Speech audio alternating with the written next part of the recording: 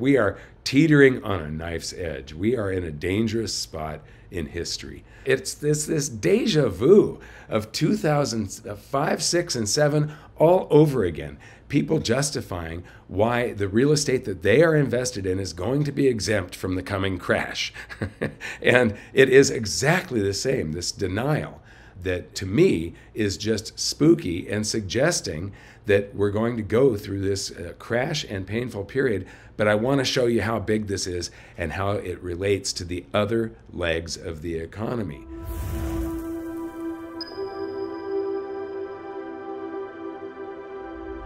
Happy Turkey Day! I want to wish everyone a happy Thanksgiving. And I am here in Utah right now. I'm going to be spending Thanksgiving with some of my family. And but of course, I want to talk about the economy. I'm not here to talk about Thanksgiving right now. Now, the economy is sort of like a three-legged stool. Uh, there are three pillars, three legs that hold up the economy. And, you know, we look a lot at the stock markets, uh, but that is just one of the legs. When you think of the economy, I'm looking out a window here. When you think of the economy, you think of businesses and you know gas stations grocery stores all the cars going around that's the economy banks and so on. And um, uh, so those are all businesses. And so in the financial markets we use the publicly listed companies the stock market as our proxy for the economy. But there are two other legs that are extremely important. Uh, one is the real estate sector. Real estate is a huge portion of the economy and then the third leg is the debt markets, the bonds and notes and bills and so on. Uh, and the debt markets are also the backbone of the banking system. It's their monetary system that they use between one another. It's their assets that they, you know, they hold mortgages and they hold bonds and bills and notes, treasure, U.S. treasuries usually. And so those are the three main legs that hold up the economy. So you've got, you know, the weight on top, the seat, is the economy, and it's the, uh, the there's also the weight that sits on it of government spending and, and all of the other things that we do. So let's take a look at some of these legs and see what the health is. Now, in the last video that was released with Alan Hibbard and, and myself, uh, we analyzed real estate home price index. This is Robert Shiller's data of Yale University. And we took the, the chart that was in the book and we updated it and extended it. And we found it had gone from about uh, 110% overvalued to about 125% overvalued. Now, this data goes all the way back to 1880. And what Dr. Robert Shiller has done is inflation adjusted it. So you're seeing the value, not the price. It's the home price, real home price index, and adjusted for inflation, which is real pricing. Uh, they are real estate is currently about 125% overvalued, and this is the 20 city index. So um, it's it's pretty much representative of what is going on in the United States. And what you see here is the greatest real estate bubble in history. And so uh, we're going to take a look at another way that this, uh, you know, another set of proof, another way of measuring it that shows the same thing. But I do want to say that I have been presenting this since 2004, right about where that arrow is.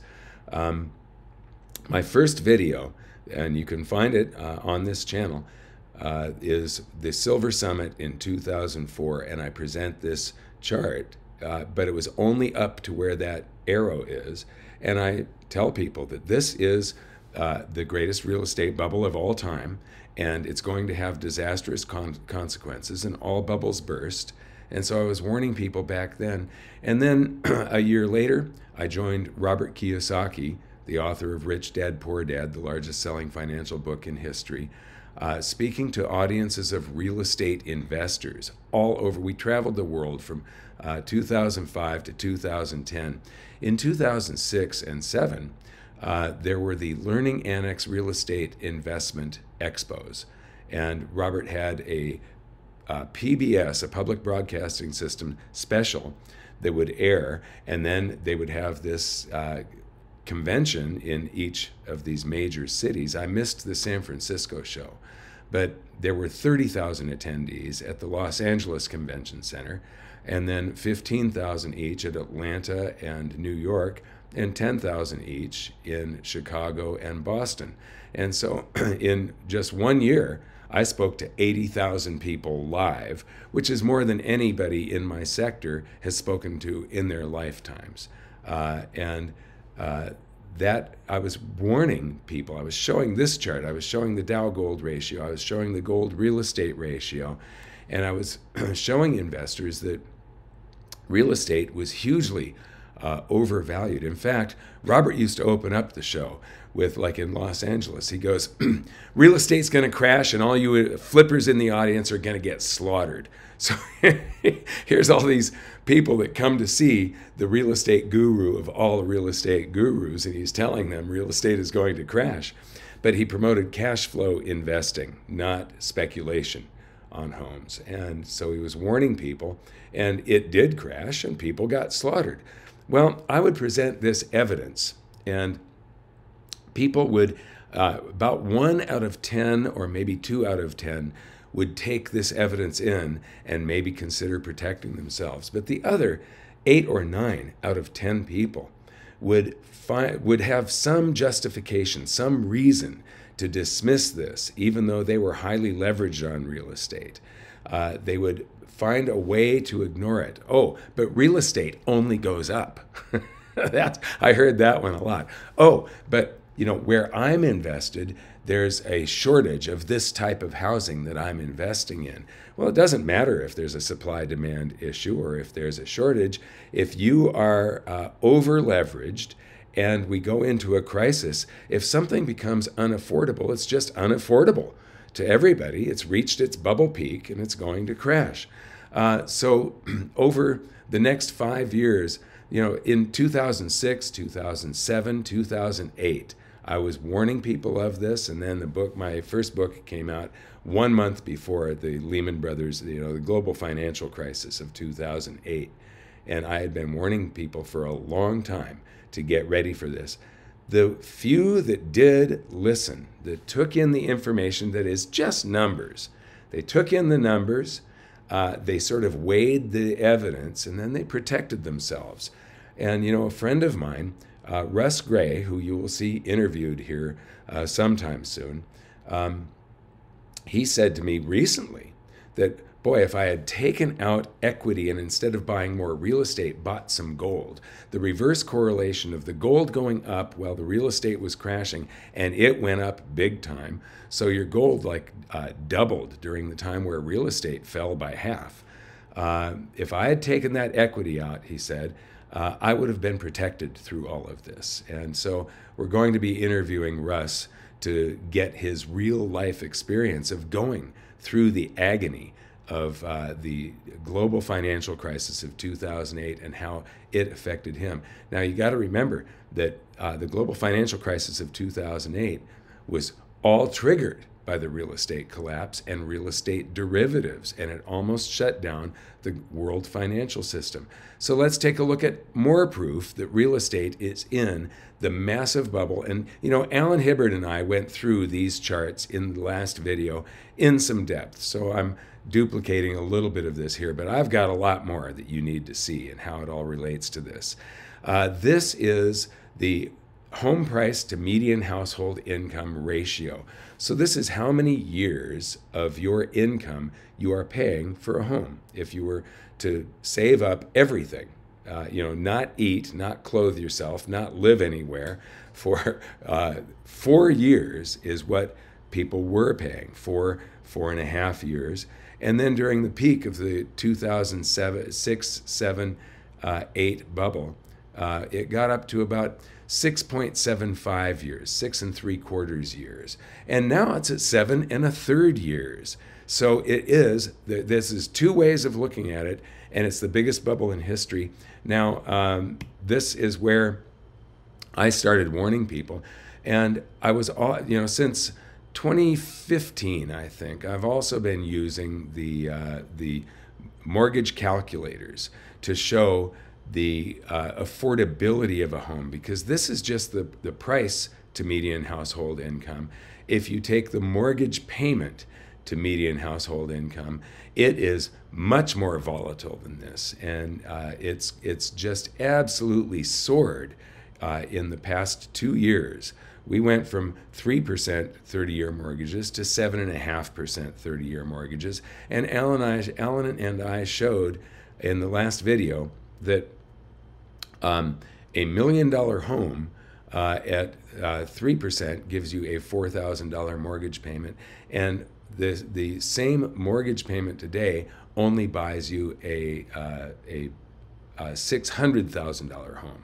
So the affordability has gone down by 40%. You get 40% less uh, house for the same mortgage payment. But what we didn't show is that if you still want that, um, that million dollar home, the mortgage payment has gone up by 66%. That is huge. Uh, and so the affordability, it doesn't matter um, if there is a shortage of real estate if nobody can afford it.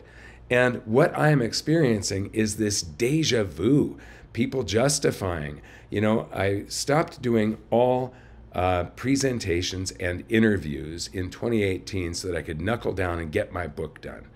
And uh, like I said, I had uh, Alan and another researcher and an editor uh, uh, working on it with me that were on my payroll basically and uh, trying to get this thing done and make it something that was very, very comprehensive and had all of the information in one place.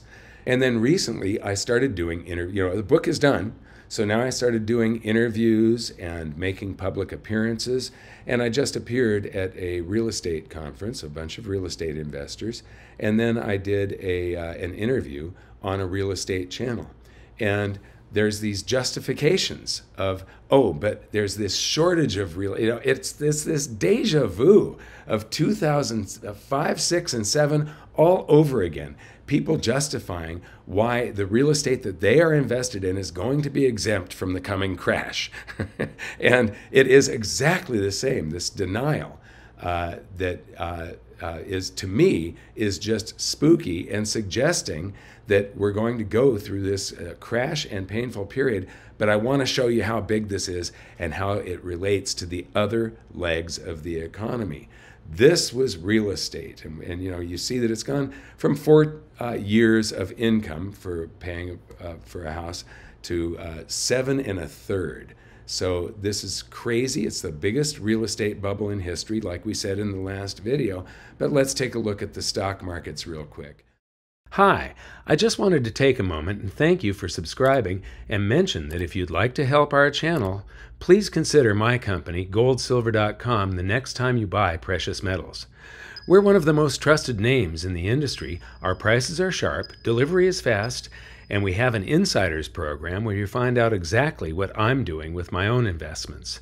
Thanks for making goldsilver.com your dealer, and now back to the video. And this is PE ratios, so it's the price of a stock divided by the earnings per share to sort of come up with a valuation on whether you're paying too much or too little for a stock. And what you see is that this goes back to 1880 and all the way into the mid 90s the mean was about 14. And they used to say that fair value was 12. Uh, you know, back in, in the early 2000s when we were in the, I, I would hear that uh, fair value was 12 and we were in a bubble. Uh, and the, at least the people that I was following, the people measuring the numbers. And um, what you see here is that we've just come off of the second largest stock market bubble in history. Uh, and it has bounced, this chart is from the book. It's bounced back up since then, and Alan and I will be covering uh, these other legs of the economy in detail in separate videos. But I felt that it was sort of an emergency, and you need all of the information in one place so that you can compare it and hold it all in your head at once. And so I'm making this video. But this has bounced back up to 30.8, uh, which puts it back up, you know, in its almost as high as the 32 or 33 that I think it was at 32 in 1929 before the great stock market crash of 29 and the Great Depression. So we're up at 30.8 and you see that the mean is about 14, except the bubble century. We have been living in these um, crazy times where people are looking at these crazy valuations, and you can see that we had a hyper bubble going on in the year 2000, and in 2021, it was another hyper bubble. And so we're just in a super bubble right now, up at 30.8. But there are other ways of looking at this, other ways of measuring it. So uh, where were we when the when the real estate crisis triggered the stock market to collapse as well? Uh, you know, we were up at about um, 27, uh, 27, maybe 28. And so we were nowhere near where we're at today. And we, you know, the stock market is coming down uh, from what is that about 37 or 38 uh, PE ratios. It came down, it bounced back up to 30.8. Uh, and so we are at much higher bubble, bubble levels than when the crisis of 08 happened. The stock market is in a greater bubble, and the higher the cliff, the bigger the fall. So the worse the crash uh, will end up being. But there's other ways of measuring this. This is the Buffett indicator. So you're taking all of the publicly listed stocks, all of the shares times the price per share gives you the valuation of all of the publicly listed companies. They have no business being larger than the economy. So, what we're doing here is we're taking the GDP of the United States and dividing it by the uh, publicly listed companies. And what you come out with is the value of the publicly listed companies, the mean was about 60% of the economy here in the 50s, 60s, 70s, 80s, and 90s. And then this century, it went insane. And uh, we had a bubble that was a super bubble in the year 2000. And then it was pushed back into a bubble by the Federal Reserve uh, and Alan Greenspan taking interest rates down to 1%. And uh, real estate went into a, bu- a, a, a, super bubble because of that. Uh, and then the crash of 2008 and Ben Bernanke's response has pushed, and then Yellen and then Powell has pushed the stock market back up into a hyper bubble, the greatest bubble in history. We are deflating from that now. This uh, was as of when the book was published, so Alan and I will update this in an upcoming video. But we're coming off of the greatest stock market bubble in history, and it's been deflating. It hasn't crashed yet. Uh, if something else uh, triggers that, we will see a crash. And so I think 2024 could be a historic year. However, it's an election year, and they are going to try and kick this can down the road and push it off as long as possible. The longer that they put this off, the worse it will be.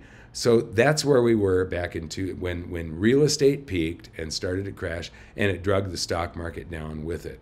But there's other ways of measuring this. This is the number of uh, average work hours, so the uh, average wage, uh, you know, how many work hours do you have to accumulate to, so that the amount of currency that you've saved, the number of dollars, is equal to the points on the S&P 500, and that gives you uh, the dollars that it would require if the points was one share of the S&P 500. So how many work hours does it take to buy one share of the S&P? And you can see this goes back to 1860. And for the first 130 years of this chart, it never exceeds 40 and it doesn't go under 10. Uh, and after you have been in a bubble, it usually visit, visits severely undervalued territory. It'll go down to, to 10. But it, you know, the average here is 22 hours of work is fair value to buy one share of the S&P and we're up at 122 this is uh, so we've we've have a crazy valuation century right now where everybody is sort of used to these crazy evaluations. But right now we are at insane levels. We're way beyond just crazy. And so when this corrects what it's suggesting is that to get back down to fair value the stock markets would have to uh, crash by 82% to get back down to that 22 and to go to 10 it's a 92% crash that it would take or uh, alternatively, what you could have is incomes could go up five and a half times, and then it would return to 22. It would return to that mean. If everybody's income went up five and a half times, it would be in balance with the stock market. But it's not. It's out of balance. It's totally insane. So let's move on. And, and you know, where where were we uh, in when real estate triggered the stock market crash? That's where we were at about 70 or 70, 75. Uh, and now we're up at 122. So the crash that is going to, when these crashes trigger each other. Now, in the year 2000, that was only a stock market crash. Uh, real estate was just taking off. It was not affected by the stock market crashing, crashing, and bonds were not affected at all. They kept on in their perfect uh, bull market. And so it was that was stocks only. Then in 2008, real estate was in a hyper bubble, and stocks were in a just a bubble or super bubble, and real estate drugged down stocks with it. So it was a real estate and stock market crash. But where are we with bonds? This is the uh, the, the bond bull market that started in 1982. So you've got this uh, this uh, bull market that goes on for more than 40 years, and it's just an absolutely picture perfect bull market. So this is the 30 year uh, Treasury, so the longest bond, and um, and it broke its uh, trend line here, and so the bond bull market is officially over, and uh, it the according to Bloomberg. The 30 year Treasury is, has lost 53%, so existing 30 year treasuries, before the interest rates started going up, have lost 53% of their value. And where were we back in 2008? We were down there. We were at uh, we were lower than where the bond market already is. But the bond market is something that is like the fuse for the stock market and the real estate uh, market. The collapse of these giant uh, super bubbles and hyper bubbles. And so the bond market was in a super bubble, and that is popping. So we, all three legs of the economy. But this is like a picture of the debt markets. Now, when um, the U.S. gets into trouble and they want to do more spending, they want to do bailouts, they need currency, the Federal Reserve is handcuffed as to how they create currency. The Federal Reserve Act specifies that they can only create currency by typing currency into existence and buying uh, an asset that is fully backed and guaranteed as to the principal and interest by the U.S. government, or in other words, by you, the taxpayer. And so the Federal Reserve has to buy a U.S. Treasury, or now with the uh, you'll see uh, shortly with the nationalization of Fannie Mae and Freddie Mac in 2008, that made them uh, a government backed security, which they could also buy. Uh, and so, uh, but they have to buy that through their primary dealers, this uh, 18 to 32 uh, brokerage houses. And they're the world's largest brokerage houses. So they're buying them from the financial markets. And they buy these assets with brand new currency that flows into the financial markets. And then the, uh, the brokerage houses have to go out and replace those assets that they just sold, and they usually buy a higher yielding stock or a, another bond. And then they turn around and sell those bonds again to the treasury, to the Federal Reserve next month. Uh, and so uh, it's pumping currency into the financial markets, blowing the financial markets up into a bubble. Wherever the new currency goes first, uh, creates a, it inflates that sector. And so people that derive their net worth from their stock portfolio uh, get wealthy by the Federal Reserve diluting the currency supply, stealing wealth from the uh, average person, put it, uh, taking that dilution and putting the excess wealth that's taken from the uh, middle class and it goes into the stock market and makes Bill Gates uh, twice as rich as he was before they started all this process. Uh, and then um, when somebody that derives their net worth from their stock portfolio, when they sell a little bit of those stocks, uh, and then they spend it in the general economy, they're getting a whole lot more dollars for their stock and then they get to spend that stock, that, those dollars into the economy, and that increases the uh, the currency supply in the general economy and causes prices to rise because it's causing the dollar to go down. It has less value when they dilute the currency supply, and so this whole process of uh, QE and everything has done this giant wealth transfer. Uh, and it's skewed and tipped the scales of the economy way out of balance. And uh, whenever they're out of balance, the correction, uh, the, the further out of balance they get, uh, the more violent the correction is. And so we, we are, the, the correction has started. You can see it here in bonds and the stock market. Uh, is down from where it was at the end of 2021. Why? This was the trigger, and when they first started doing this, I covered this and made these charts that the Fed effective Fed funds rate, this is the percent change from a year earlier, and it's the greatest rate of change in history. Nothing like this had ever been done before. And you've got to realize that all of the debt that's out there, the, uh, the uh, U.S. Treasuries, are the backbone of the and mortgages. They're, these are the backbone of the financial system the it's the monetary system that the banks use. Imagine the banks having a brick wall inside, and there's the monetary system we use, and then there's the monetary system that they use. All of the bank reserves and uh, treasuries and mortgages and mortgage-backed securities, and the bank reserves only exist in accounts at the Federal Reserve that the banks have, and they pay each other and settle accounts in these bank reserves. Uh, and uh, the the bonds though and the mortgage-backed securities, when you change rates at this rate, a mortgage-backed security that was done with a th- uh, three-year, uh, I mean, with a three percent, thirty-year fixed, uh, is not as valuable as a brand new mortgage at seven and a half percent. That's a much more valuable product, and so it, it causes the existing loans, the existing assets that are on the bank's balance sheets to fall dramatically. The same thing with the treasuries. Uh, a 30 year treasury that was issued back when uh, rates were, were very, very low uh, is not worth what a brand new treasury is today uh, at the rates that uh, currently exist. And so the assets that are on the bank's balance sheet change very rapidly.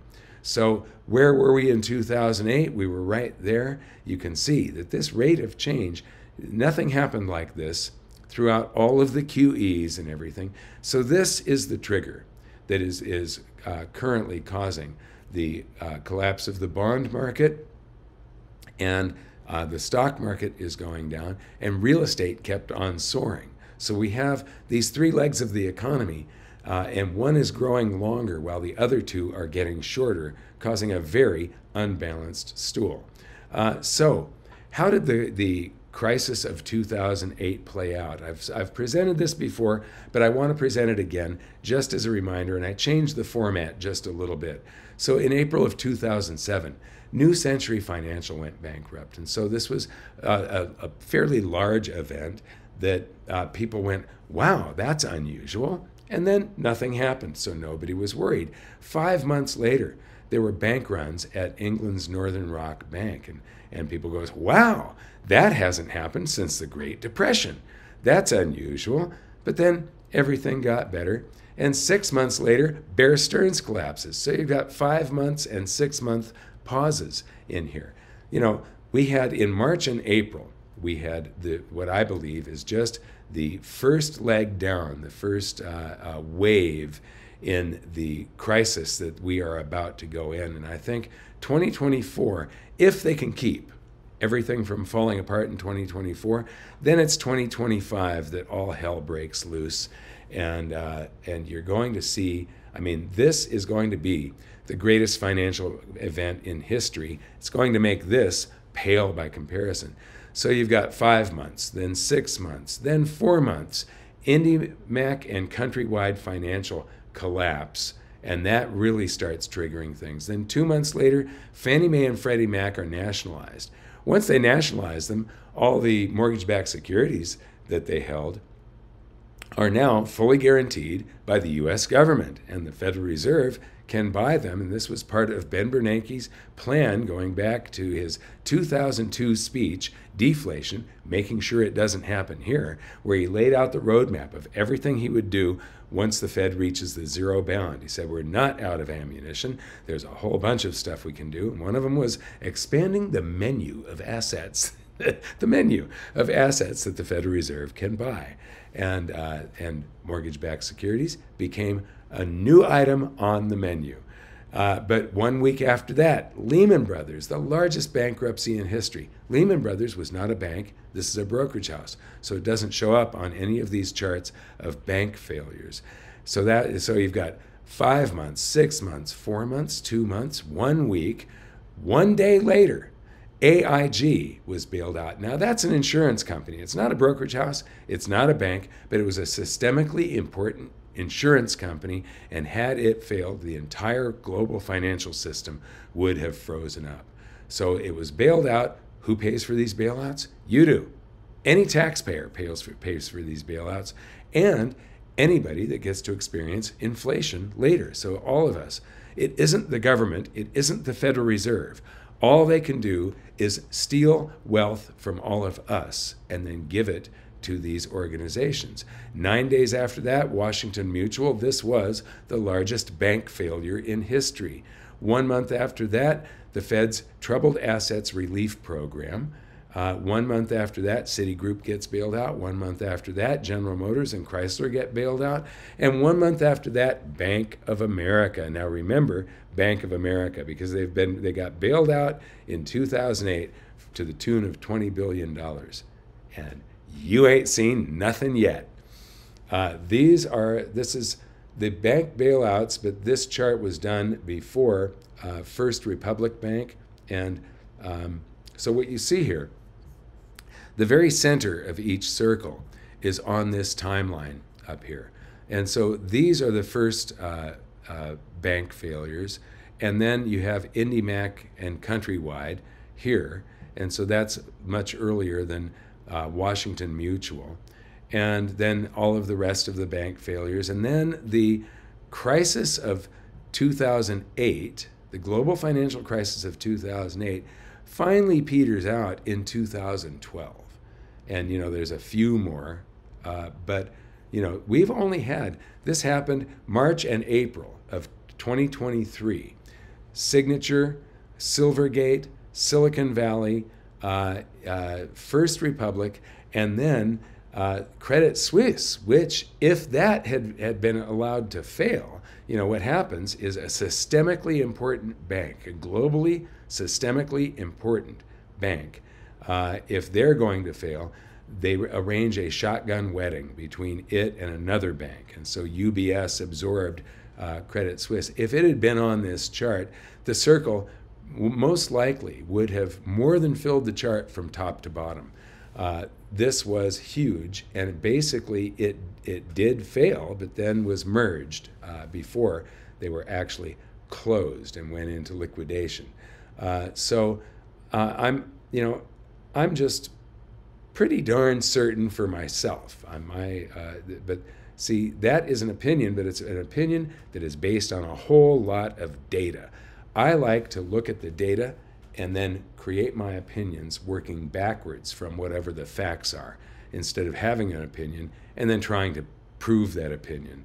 Um, so uh, let's take a look at where we were in 2008 as far as the bank's financial conditions. Now, in 2008, there, were, there was a lot of exposure to the real estate crisis, and that's what caused all of the bank failures.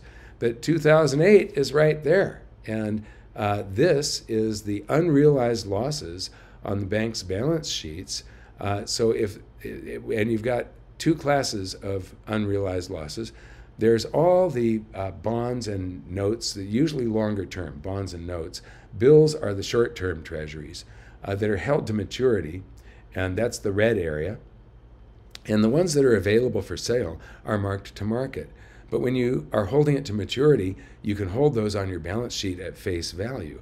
Well, what they've done here is calculate the losses if they really disclosed what the, if they marked all of those uh, held to maturity uh, bonds and notes to, uh, to market, you would see these enormous losses. Look at where we were in 2008 before the global financial crisis started and the world monetary system almost froze compared to today. And the crash hasn't even started yet. The banks are in some serious trouble, actually. Now, the last two bars in that gray zone are estimates that uh, the Financial Times here, and the source is the FDIC, uh, but they've added these estimates. But uh, the last time I showed this chart, which was during the uh, financial crisis of uh, 2023 in March or April, I showed this chart, and it only had uh, the um, first. We now have bars up to the third quarter of 2023 that are real on this chart, and uh, we only had to the end of 22, I think, uh, when I first showed this chart. So this is updated. Um, and it shows that we are teetering on a knife's edge. We are in a dangerous spot in history. Uh, this is the four biggest banks' net unrealized losses. The red one is Bank of America, which got bailed out in 2008. And this is sort of scary for me. It's one of uh, the banks that I, you know, I, I bank with a number of banks, and Bank of America is one of them that I use uh, I might go for a little bit less exposure after seeing this uh, this graph. But um, this is pretty scary, and it goes up to the third quarter of 2023. So it's pretty recent data. Uh, so where were we in 2008? 2008 isn't even on this graph. Um, have we passed the point of no return? Well, the point of the point of no return is the return or lack thereof. This is a chart from my book uh, that is one of the most important charts that there is. And basically, if the if we if the country goes a dollar deeper in debt, if the treasury borrows a dollar and it gets spent into the economy, what is the return? And for every dollar that we went in debt back after World War II, we would get between six and eight dollars of growth in GDP. Now, a lot of this has to do with the demographics that were involved, and we're coming out of the Great Depression, so growth was much easier.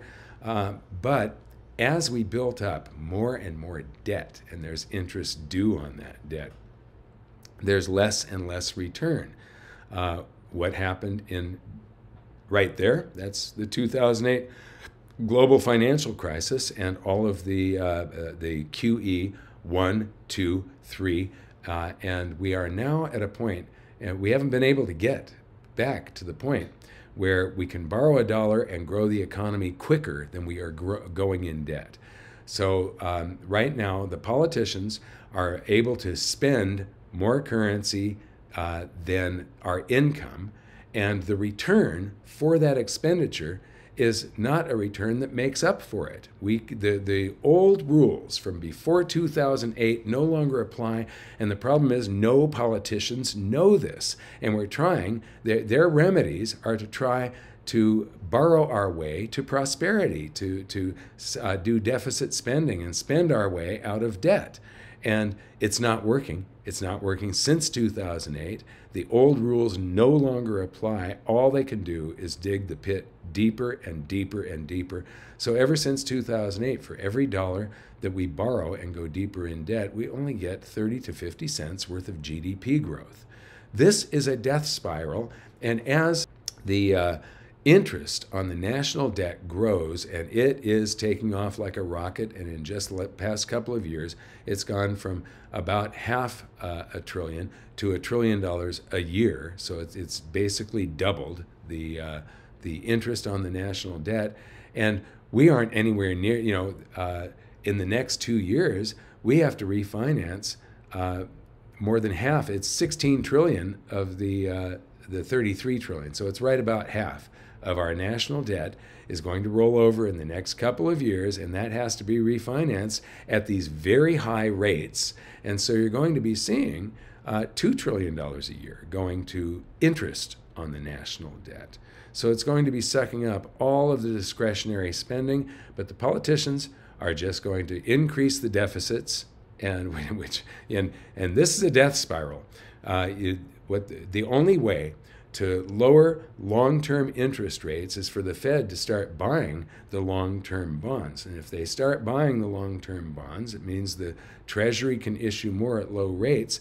But when the Fed buys all of these uh, bonds and stuff, it scares bond investors, and the bond investors demand a higher rate of interest for the risk they're taking. What is the risk of loaning your currency to the government for 30 years? Uh, that is the interest rate that they're asking for compensation for that amount of risk.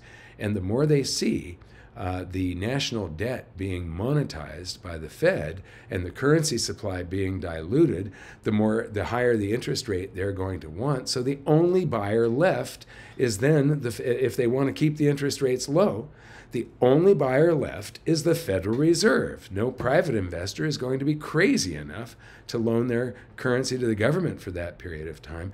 And so this begins a death spiral. This, that coupled with this chart of a negative return uh, for each dollar we go deeper in debt. And so it's this death spiral that goes down and it'll be speeding up and speeding up and speeding up.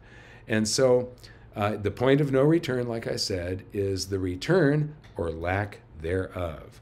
And so uh, this three legged stool of uh, stocks, real estate, and bonds, debt, uh, is we've got uh, two of those legs are currently starting to disintegrate and they're getting shorter, while the other leg is being extended by growing the debt, the growing the size of the bond market. The bond market is the largest market in the world, the debt markets, and uh, 33 trillion of it is uh, our national debt, and that is going to be growing at this exponential rate, but it's not growing out of this like uh, old uh, hard oak they're using like balsa wood that has cracks in it already and extending it as quickly as possible. So you've got this really weak uh, leg that's getting longer and longer and longer while the other two are getting shorter. And then you pile on the weight of wars and deficit spending and a crisis where they're going to do all of these bailouts and who eventually pays, no matter whether they're creating currency to do it or using your currency in your deposits as a bail-in, which uh, was, you know, that was passed. So this is legal to do in the United States. The banks will be able to do to take a percentage of your deposits and give that to these failing, uh, and it creates this moral hazard where you get these uh, cor- these corporations, these uh, giant entities, through a crisis where they, you know, they would have collapsed, and you make it so that they know that wow, the government's going to bail us out every time this happens. And it just increases what Alan Greenspan labeled moral hazard. And so they become more reckless. And the next time around, it's just worse. And we are about to experience the next time around. Remember, the first time it was just one leg of this stool, the year 2000, it was stocks. And then in the same decade, we had real estate and stocks, two legs had a problem. And then this time around, the bubbles, the, the uh, legs have gotten longer, they've gotten unstable, and they've got cracks in them, and two of the legs are already starting to crumble and disintegrate. And, and so uh, we've got bubbles in all three legs, two of them, stocks and bonds, are starting to crumble and disintegrate. And going back to that deja vu of the 2005, 6, and 7, talking to investors, real estate investors, and showing them data that this is in a bubble and it's going to end badly. Oh, no, no, no. I'm in this sector of real estate, or there's this supply shortage. And like I said, if you can't afford it, it doesn't matter if there's a supply shortage, the bubble will still burst. And so I'm sorry to leave you with such, you know, and I'm laughing here because I'm going to close this with Happy Thanksgiving. uh, all I want to do is I want to remind everybody that in every crisis there is an opportunity. And I believe the biggest crisis in history is coming straight at us. It, it, I think either 2024, 2024 should really be a historic year of uh, everything like falling apart, and the the biggest. It's going to make the 2008 global financial crisis look like a flea on a dog's butt. Sorry, uh, it's it's going to be big, but there is an opportunity in there for those who can find it. So again, happy Thanksgiving, and we'll see you next time. Thanks. Hey guys, just want to let you know that we'll be running a Black Friday deal at goldsilver.com. If you want to turn some of your currency into real money, you'll get fantastic deals like 20%, 30%, or even 55% off premiums on the products you already love. So go to goldsilver.com now.